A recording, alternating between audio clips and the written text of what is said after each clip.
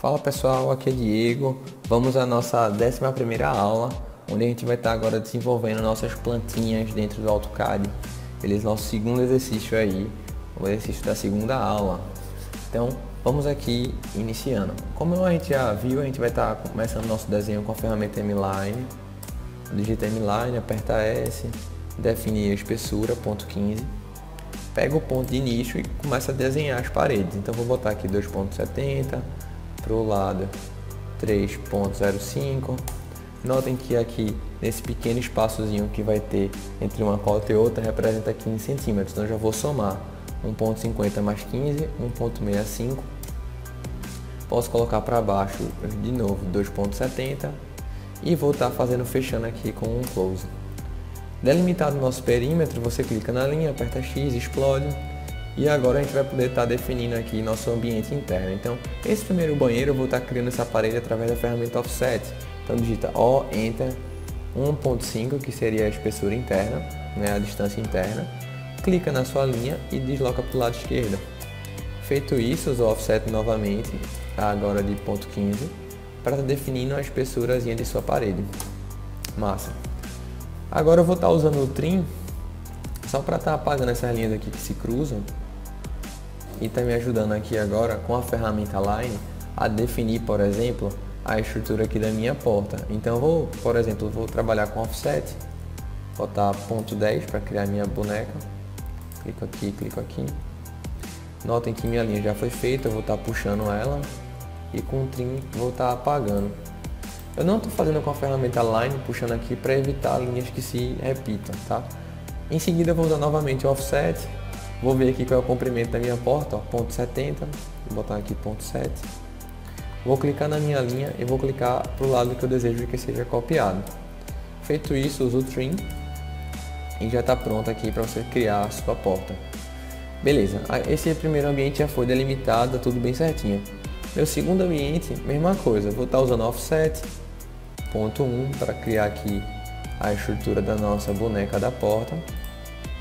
Vou usar o trim para estar tá apagando. E como minha, a porta de entrada tem um metro, eu vou estar tá dando um offset agora aqui de 1. Clico, uso o trim para apagar.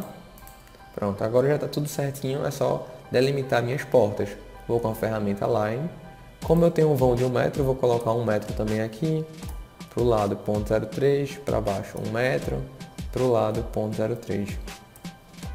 Mesma coisa eu vou estar tá trabalhando aqui nessa minha esquadria. Então line, ponto 70, ponto 03, ponto 70, ponto 03.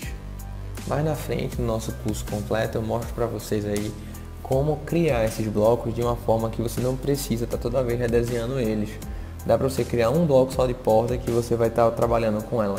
Você só é dizer para ela se vai ser 70, se vai ser 80, se vai ser 1 metro, que automaticamente ela vai estar tá sendo inserida, espelhar. Vou mostrar aí para vocês no próximo vídeo, beleza? Então, notem aqui que eu vou, posso trabalhar agora com a ferramenta arco e tá definindo aqui o arco das minhas portinhas. Então, bem fácil, né? A gente já definiu aí nossa planta. E para finalizar, basta a gente estar tá inserindo agora a rachura do nosso projeto. Como a gente viu que a rachura está travando muito, eu vou na opção Fio e posso dar uma desligada. Lembra que a gente viu isso aí já.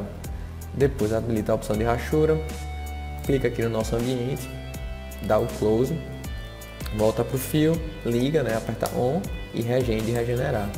Pronto, automaticamente nossa rachura já apareceu aí. A única diferença para o nosso ambiente é que faltam os nomes do nosso projetinho.